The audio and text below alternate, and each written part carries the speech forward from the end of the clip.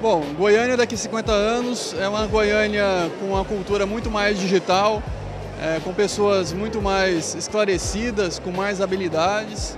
E eu espero que seja uma Goiânia que use essas habilidades para o desenvolvimento social, que a gente tenha mais qualidade de vida dentro da cidade. É, sem dúvida nenhuma, o futuro é uma esperança, né? o que existe é o presente.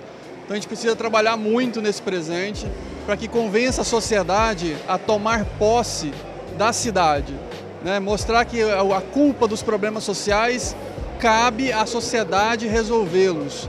Não só apenas governantes, não só apenas subgrupos, mas sim todos nós somos responsáveis por melhorar a qualidade de vida. Consequentemente, a gente precisa melhorar essa conscientização social, essa mudança de mindset, para que a gente consiga chegar daqui a 50 anos uma sociedade melhor.